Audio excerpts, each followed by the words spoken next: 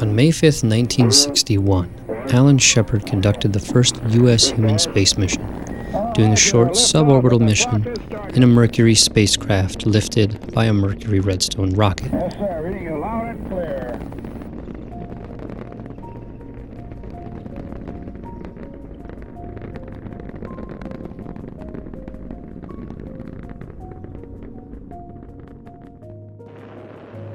Unlike the Soviets, which had conducted their first mission, a fully orbital mission, in April, using the innovative and multi stage R 7 rocket, the Redstone rocket was, essentially, a modified version of the V 2 rocket developed by German designers and engineers during World War II.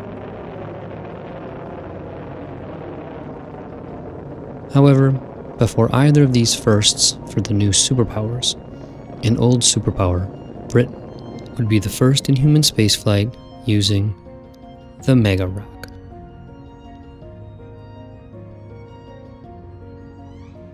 In the summer of 1945, with the war in Europe over, Allied forces rushed to unravel the secrets of Nazi V 2 rocket designs.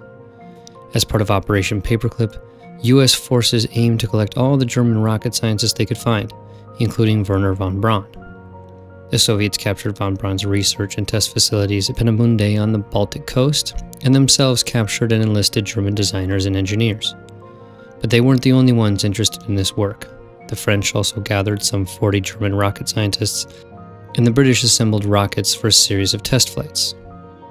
Known as Operation Backfire, the British program involved testing V 2 rockets, sending them to the edge of space.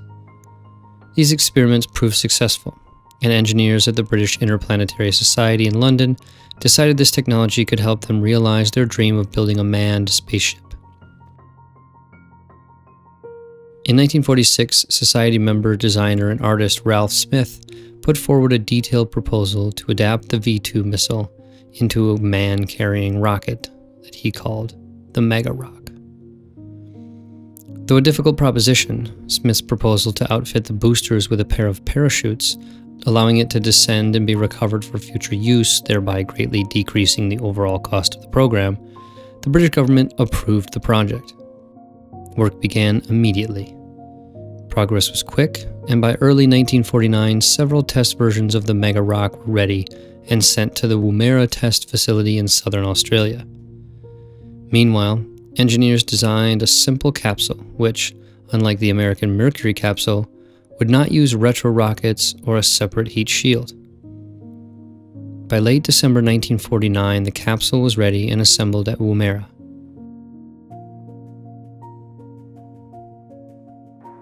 On December 14, 1949, Wing Commander Leonard Cheshire launched atop the Megaroc on a parabolic trajectory just above 300,000 meters above the Earth.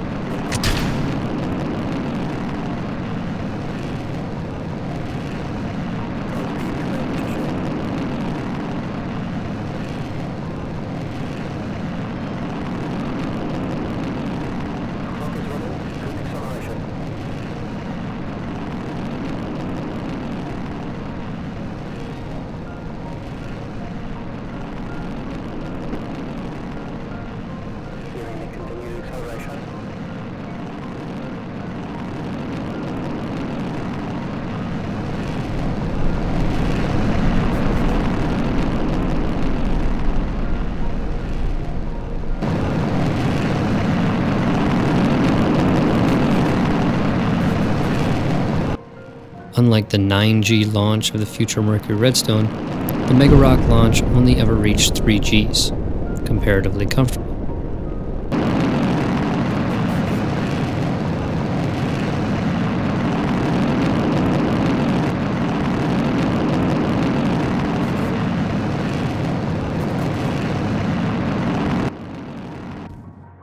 Main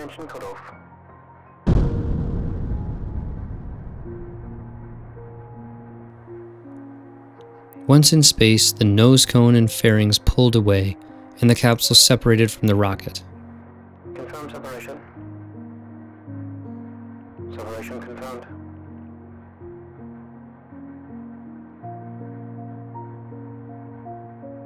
Testing rotation.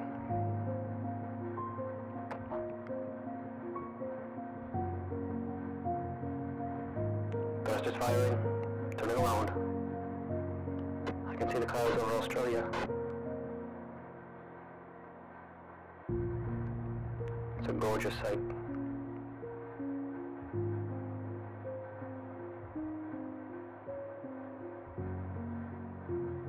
Continuing altitude increase. Moving about now.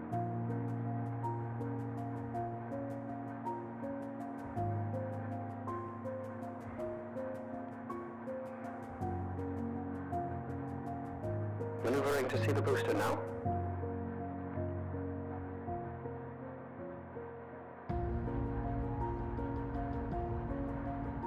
I have the booster in sight.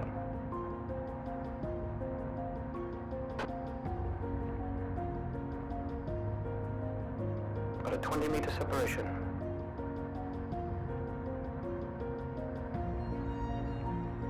Cloud cover below. Gorgeous.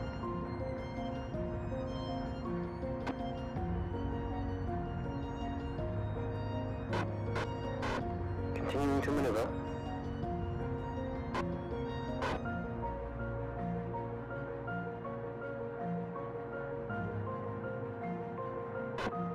I can see the coast.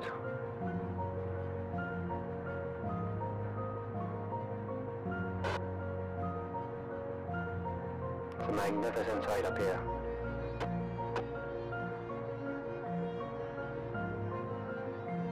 I can see nearly the entire continent.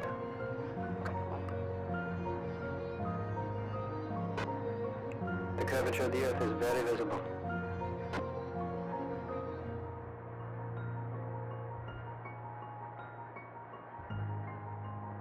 Reaching apogee. Descent beginning. Moving to re-entry attitude.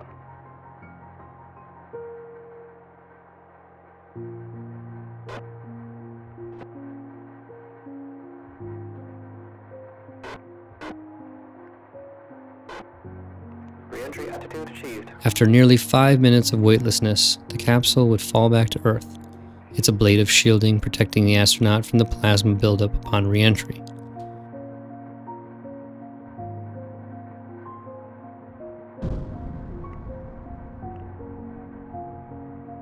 To feel the G's now.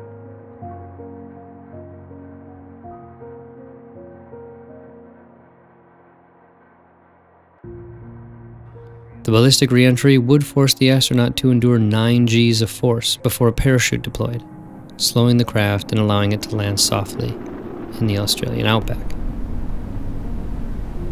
Blackout period